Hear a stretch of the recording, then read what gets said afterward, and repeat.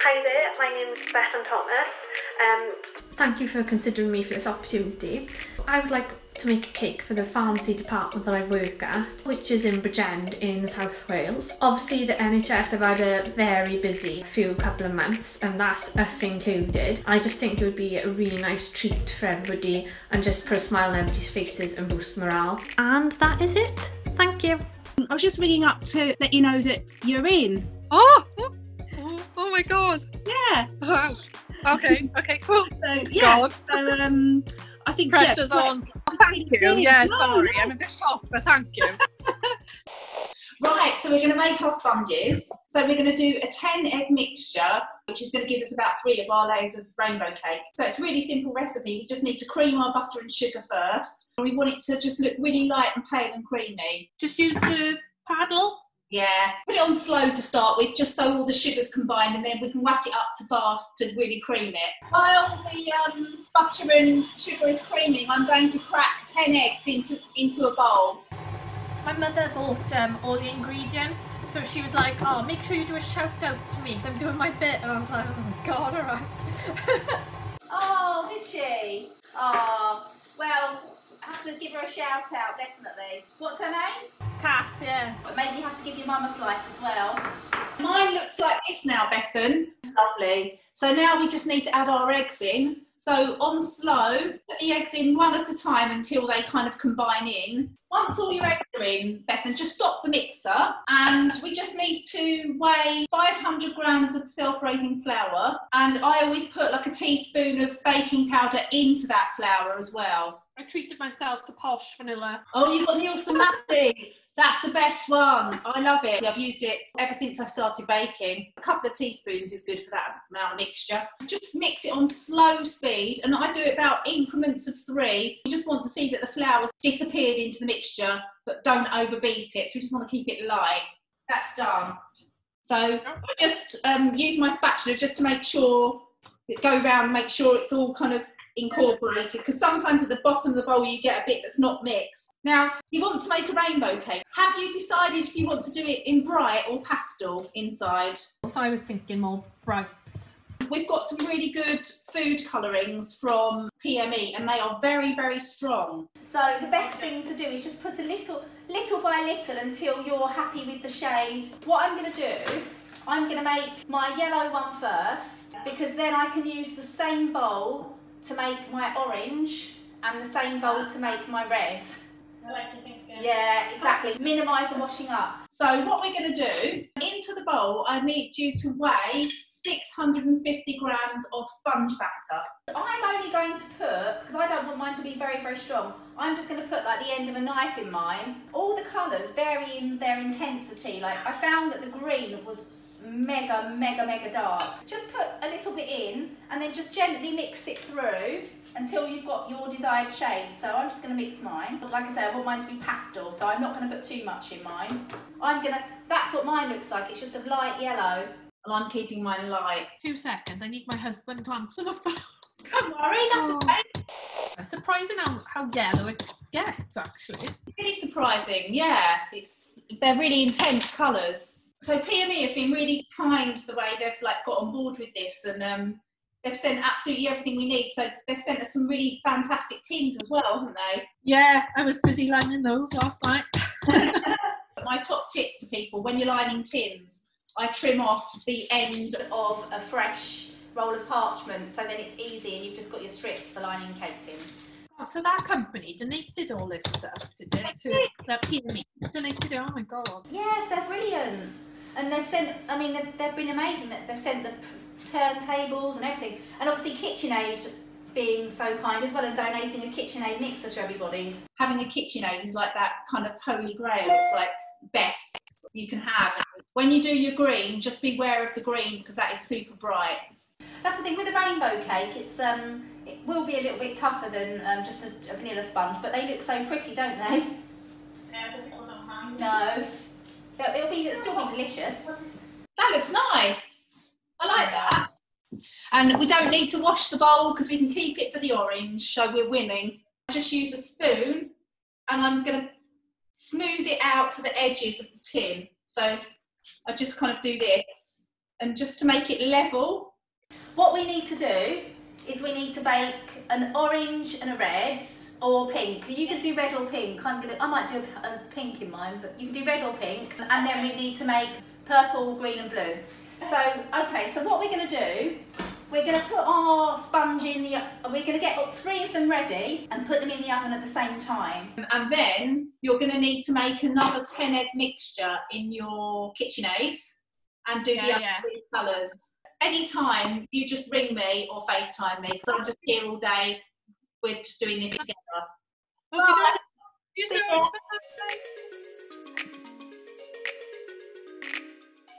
Right, so we're going to make our cookie topper, and um, so what we need to do is roll it out and cut around our shape. It's really easy. The most tricky bit Is getting the lolly sticks into the cookie without um, like squashing it too much. And that's why we're going to roll it a bit thick. We've got our sugar and our butter. Now, Yeah, and vanilla. and vanilla as well. Yeah, I'll put mine in too. just mix it on slow until the butter and sugar has gone together as to a paste. So it's definitely mixed, but it's not pale and fluffy. Then once it's mixed in, we'll add one egg, and then we'll mix that in on slow. And then we'll just tip in all of the flour and mix it on, on slow until it comes together into a ball. That's it. So should we do that now? So mine's ready. Mine's come together. It's just um, like a paste now. So I'm to put my egg in it now. So just mix it until it's incorporated. I'm going to put my flour in now. Yeah. And once your flour's all mixed in, you can turn up the speed just a little bit, just to give it a small knead, but only for a few seconds. So I'll show you, Bethan. Mine's ready now. It's just come together like that. So it just kind of comes together in a few big chunks, which is your sort of mouldable dough. It's quite a stiff dough um, because we like it to hold its shape. So what I'm going to say then, Bethan, I'm going to roll out my cookie and I'm just going to show you what to do. So just watch me do one because then you can concentrate and see how to do it. So you can see my surface here, can't you? Yeah, yeah. So obviously the template that we have is not huge. It's only you, we'll probably be able to get four or five out of this amount of dough. So what I'm going to do is just break off about a third of my dough to start with. Okay. You can just kind of get it into a sausage shape like that. And put quite a lot of flour on the surface. You don't want it to stick because we want it to keep its shape. And I'm just going to sprinkle the dough with a little bit of flour, not too much, I just don't want my rolling pin to stick. These marzipan spaces, that PME sent you. That's the normal depth that I do my cookies to. But we want to put a stick in ours. So for these ones, we are not going to roll them to this depth, we're going to turn them on their side so we have a thicker cookie, alright? So put them down either side of the dough, and then I'm going to take my rolling pin, roll it a little bit.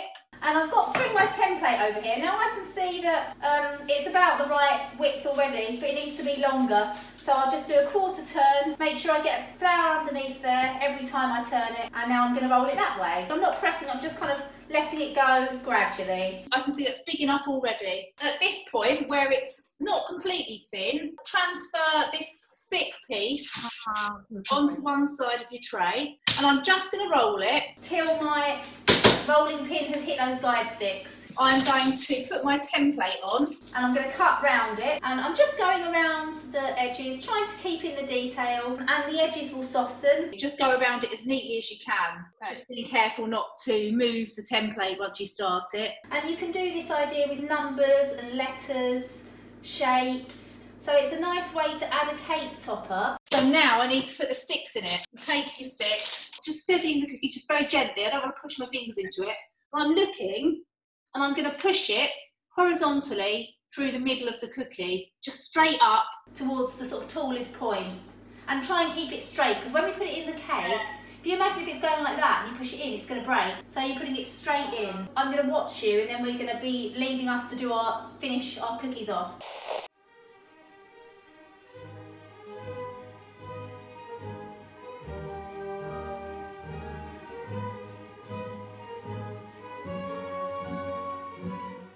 Yeah, that looks great. Brilliant. That's good. So you can definitely, that's perfect. You can definitely fit one on the other side, can't you? We're just going to bake them now. Um, don't want it soft inside because it won't hold its shape. We want them to be really crispy cookies. And then once you've got your second, your next little cookie in the oven, we're going to come back and we're going to trim down our sponges and we're going to crumb coat our sponges. Okay. All right, Yeah. thanks, thanks a lot, Bethan. See you in a bit. Bye. Bye. Right, okay, so what we need to do, we need to trim down all of our sponges first. This is a pretty easy job because PME have sent us our cake levelers. Yeah. Which means that we're going to get a really lovely, perfectly level, straight cake. If you've got the tools, you're going to get um, a much better finish. What I always want to look for is the best base um, foundation I can get. So as long as everything's straight level, straight level, straight. When we do our decorating, it's going to be easier and look better. So I'll show you how to trim a sponge down. So I'm just going to make sure you can see. my area. So um, I'm going to show you how to do the red one and then I'm going to watch you do your one.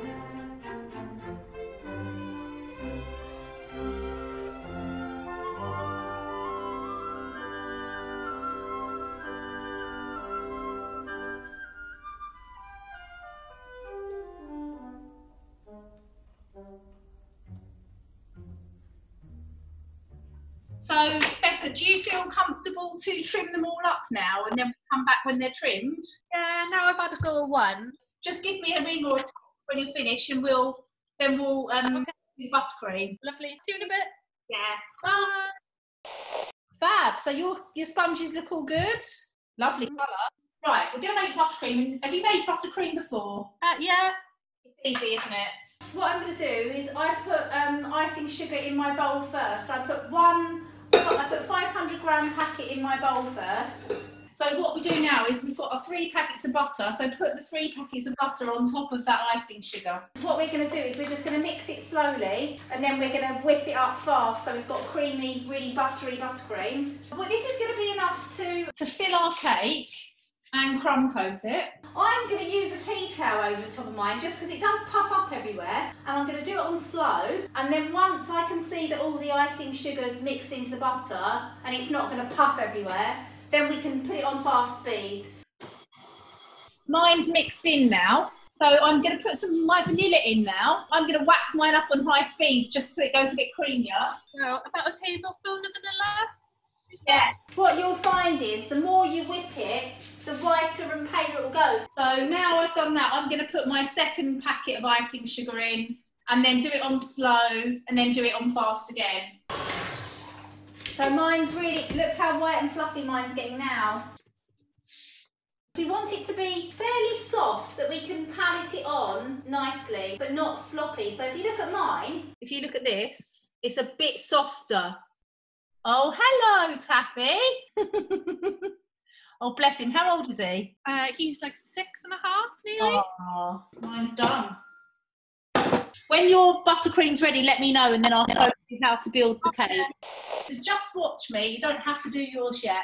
so onto this board, I'm going to get a little bit of Yeah. buttercream, splodge it on there, right? Yeah. Not too much. Then I'm going to take my next one, put it on top, and what I do is I just kind of press it and rub it against each other. And that creates a bit of a vacuum to hold it still, you see, right? So now I need to put some buttercream onto here to stick my first sponge layer on. So I'm just going to take my spatula and put a generous blob on the top there.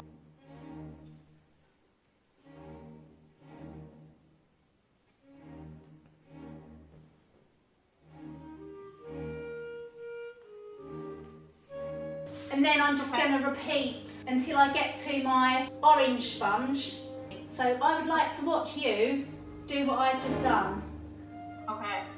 Because I, I can see what you're doing and you've got yours in there. Um, so now you've got to put your blob of buttercream on there.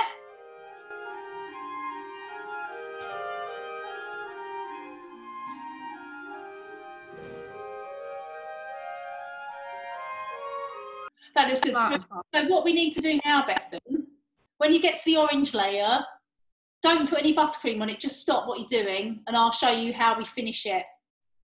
Okay. Good luck. bye. Bye. That looks fantastic. Brilliant. So we now need to put the red one on top. So I'm going to show you how I put it on top, and then I'm going to show you how I crumb coat it. The neater we get it, the easier it is tomorrow. Fantastic. Okay, so what we're going to do then, just watch me and then I'll watch you do yours.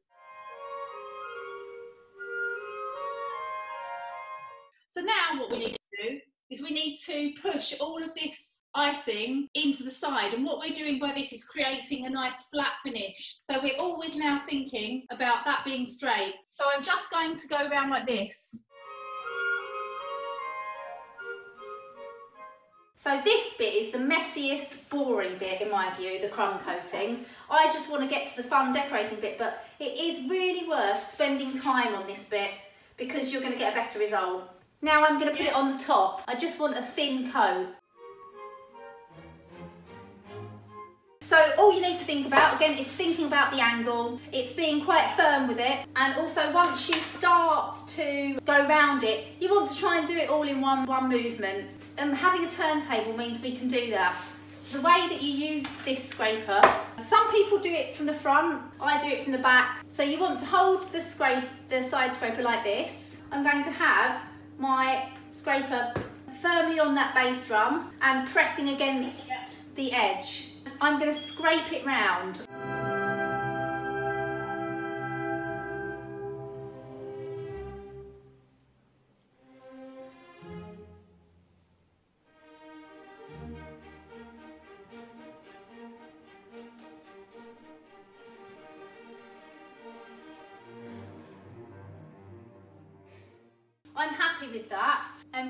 The fridge overnight and then we'll decorate it tomorrow. I'm going to just cover it for you and I'm going to show you how to do it. Put a bit of icing sugar on the board, a tiny bit, a cup of water, dampen the board. Knead it till it becomes pliable because then it, I use my body weight just to push it. Make it into a ball and then flatten it. Lots of icing sugar. Little bit on top, not too much so I don't want it to crack. I'm going to set my guide sticks on the thinner side now yeah. and I roll away from myself and then roll towards myself. Quarter turn. To work towards myself, back in the middle and away. Get loads more of that icing sugar. Put it away from you, over the rolling pin like that. Now put the board down and now I'm just going to roll it away. Now, all I need to do is trim off the edges, just trimming the edge. So, and then I just kind of make sure that there's no um, knife marks or edges. Shall I just give it a go? And yeah. if I get stuck, I'll, I'll message you. yeah, ring me if you need me. Okay, I should be all right. Yeah, you'll be all right. I'll Bye. see you tomorrow. See you tomorrow. Bye. I was absolutely knackered last night. oh, welcome to my life. well, what we'll do, we'll make our royal icing, which is quite easy. It's just, um, and it's basically oh, okay. a sugar mixture that sets really hard. So you just put all of your icing sugar, a kilo, in your kitchen KitchenAid bowl. Put three egg whites to start with. If you've got two, two lemon juice. Yeah, two lemons, yeah. Put all of that in, and then just get a bowl, a glass of water to hand, because if we need a bit more liquid, we can also use that. Royal icing, you can do all sorts of things like covering cookies, you can write messages. It is quite a good ingredient to have if you're into cake making. Yeah, my mum always used to use it, I'm sure, for um, Christmas cakes. She used to do like little peaks of the snow. Yeah. yeah. That's it, that's it. Oh, I didn't turn it on. so it sort of goes into dry clumps to start with. It's really dry, look. That's what mine looks like. Oh, yours is quite, is yours a bit of a paste already? Yeah, I would say. Oh, yours is probably quite done then. So just scrape it down. And what you want it to be is like very stiff peak. Like, so it's like, so it's kind of like this. We need it to be stiff for our clouds, you see. So that's what we're sort of looking for. But we do need to mix the machine for a, just until we can see that there's no lumps of sugar left in there. Oh yeah, that looks quite nice. So I just basically run my tea towel underneath the tap and then I squeeze out as much water as I can. So, and then we'll, we'll place that over the top of our KitchenAid bowl while we're doing our colouring. I'm just going to get my tea towel and just um, lay the whole thing over that bowl. So that's now protected and it won't skin over. So what we're going to do now, we're going to get all of our piping bags ready for doing our cloud decorating. PME sent you all those lovely piping bags, didn't they? Yeah. So that's done. And I can just leave that to one side and make my other colours. and that will be plenty for our, for clouds. So what we're going to do now is we're going to make each of our colours. So we're just going to use the paste colours. You only need a tiny, tiny bit. I'm going to keep mine fairly pastel. So I'm just going to use like tip of a knife and just touch it in like that. So I've just got a little bit. Stirring it slowly. And this will do like two, uh, two or three cookies easily. So that's that. You see, it's kind of much softer than the white one. So then that's going to keep completely sealed. Do you want me to watch you do your first colour? Yeah, just to check. Just to make sure the right consistency. How's our colour, do you think? That looks good. Looks nice. Looks nice and oh. bright. Yeah, that's perfect. Perfect. Brilliant. That's lovely. Let's make our other five colours and then we'll come back and all we'll need is our piping bags, cookies and scissors. All right, good luck. Yeah. Thank you. See you in a bit. So this is the fun bit. So I'm going to cut off, I'd say, a hole of about three to four millimetres. So if I just push it up, you'll be able to see how big the hole is. Get all of your piping bags cut like that. The thing to do is have a, a damp, clean cloth. You just place the damp, clean cloth over at the end of every bag. So I always start by piping the top first because then I push each one up against from the top down. That's the best way to work with royal icing. I twist it so I can feel that it's about to come out. So you just squeeze it and I can get a much fatter line like that. So squeeze, and I'm squeezing it by eye about much fatter than it was when it dropped. And if it kind of, this is going to be a little bit of a rougher look, I can always kind of even colour, go back over it, see what I mean? Then you can just continue going up against the one you've just done. So then I, cut, I go against the red, keeping close to the cookie, and I just squeeze it from underneath to butt up against that line I've just piped. Leave a little bit of cookie showing at the top and the bottom. So that's really, really fun. And now I can just get my cloud and just do a nice puffy. So I think that looks really nice actually. I'm quite pleased with that. So that now, and you'll be surprised. This this cookie now it's quite heavy. Oh, okay. So um, you'll probably want to do this on your baking tray. So you've trimmed each bag and you've cut away the extra flappy bit. Yeah. Great. Okay.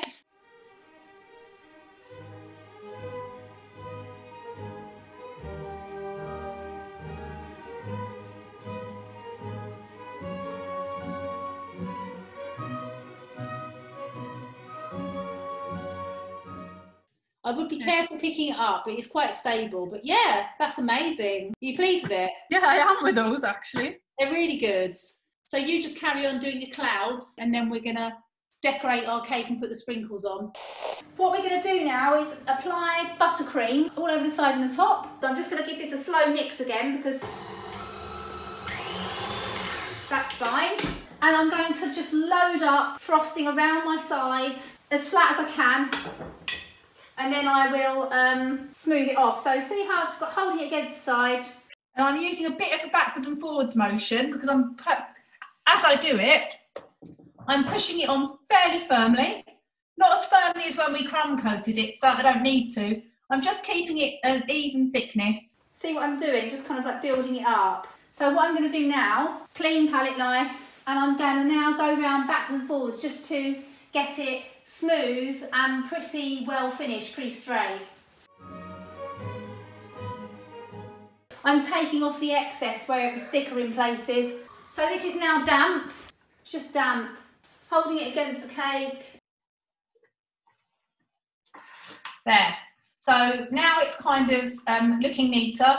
I don't want to scrape it too much more because we- we're going to get through to the crumb coating. I'm just going to do my top bit now. I've already got a fair bit of buttercream on here. So I'm just going to take a small bit and just do what we did yesterday and just do backwards and forwards, backwards and forwards and just cover the top. Just smoothing around, just to kind of coat it, adding it where I need it. Neatish because we're going to do the um, swirl on the top. You can just kind of like go like this and just like smooth it off so now I'm going to get a clean small one.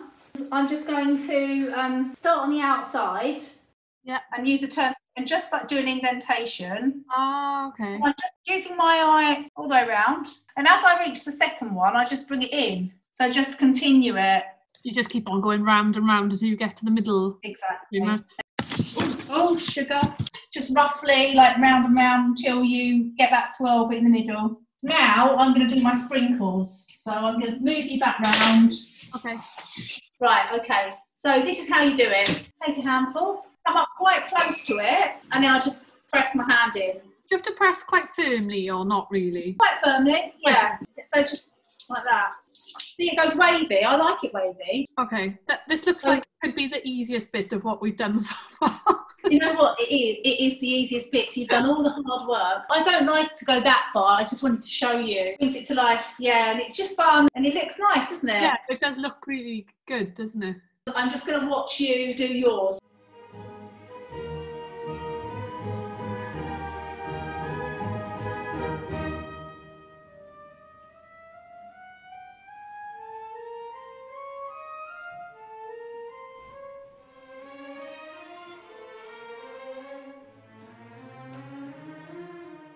Cool. There we are. What's up? Fantastic. I'm really pleased with that. Hello again, Bethan. Hiya. So I'm just going to push that underneath the board. Lift it up, crawl your hands under. I'm just going to move it across, tip it, and then just pop it down. Way too much room at the front here, so I can literally just get my hand and push it forwards at the back 'cause it's nice and cold. So that's that. Do you want to get yours onto your board? Yeah.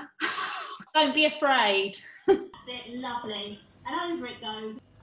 Perfect. Oh, that's not bad actually. I think you probably pretty much got it there, but you can, like I say, you can shift it carefully with your hands if you need to nudge it forward or back. I'm going to get my letters. We'll need the edible glue as well. Do you want to go and grab your edible glue?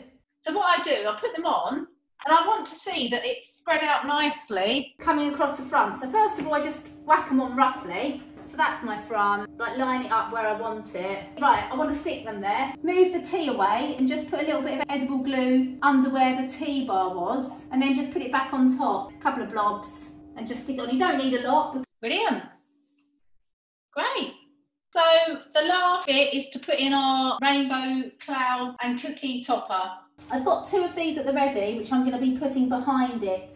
I'm now directing the cake facing me and I'm going to just confidently just lift it up and I'm just going to let it start to drop in like that. So pushing it, pushing it gently. So you see how it's now almost touching the cake? I'm just going to get my white icing. Put a little bit of icing on the bottom of that cloud like that and then continue pushing it in like that. See if I want to tidy it up a bit. So now I'm going to give it some extra support. I'm going to turn it round. See those cookie sticks in the back? Just for safety, especially if I was going to be transporting this in a car tomorrow. One, two. I just need to push it in a bit more against that cookie. Just kind of like, Secure them on, is it? yeah. So Yeah. I'm just kind of doing like a couple of lines against that stick because no one's going to see that from the front. Are you going to put your cookie on now and let it set and take it all finished tomorrow? Yeah, I think that would Yeah. be yeah, yeah, definitely. So in the middle. I don't want to push too hard just in case. Ta-da! Look at it. How cool is that? After the amount I put on there, that definitely shouldn't come up. No. And it's really good, Bethan. Wow. Are you pleased with it? Yeah. I would never have thought I'd be able to do something like this. It's really good. Thank you. And thank you as well. Brilliant. Well, okay. Well, well done. Thank you. Um, Thank you again. Like, yeah. Thank you. Thank you very See you much. later. Bye. Oh